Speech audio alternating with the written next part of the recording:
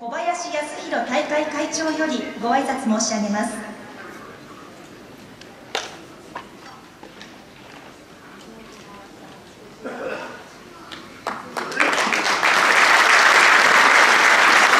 えー皆さんこんにちは。えーとちょっとこれ明るすぎるね。皆さんの顔が見えないんだよね、ここに来ると。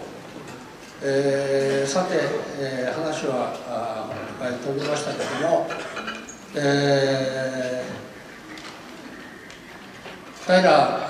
前会長の後を受けまして、えー会長に就任させていただきましたあー小林えーと申します。糸魚川出身であります、えー新潟県のお人口はですね、えー明治中頃ぐらいまでは東京よりも多かったんだそうございますね。いろいろ事情はあると思うんですがあまずやっぱりお米が取れるっていうことがあなそれのやっぱり人口のに影響するんだなと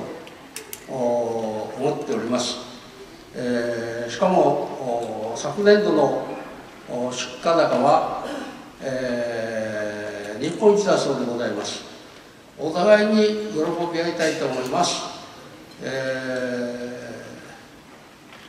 それはさておいて、えーこの度はあ椿山荘において、えー農業大会を企画いたしましたところ泉田知事さんはじめ副知事さんもお揃いで今日お見えいただいております、えー県人会のお皆さん一般会の皆さんあ本当に、えーありがとうございます、えー新潟県のお底力をあ発揮したような気がいたします、えーえーこれからはあーあー新潟県人会もますます。皆さんと共にですね、えー一致団結してお一人お一人と力を合わせて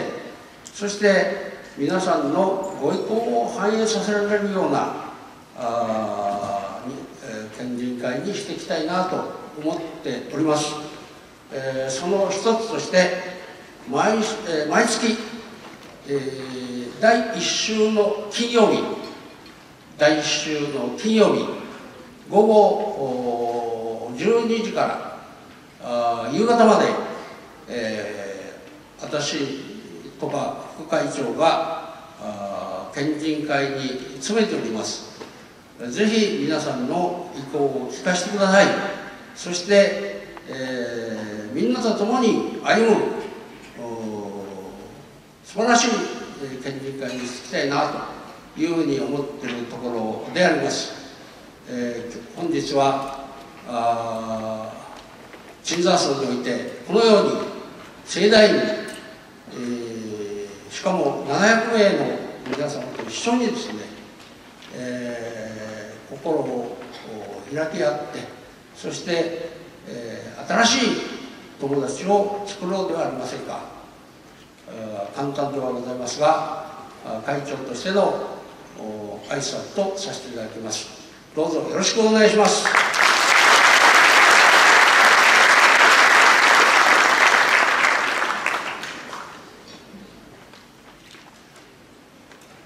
小林康弘大会会長よりご挨拶申し上げました。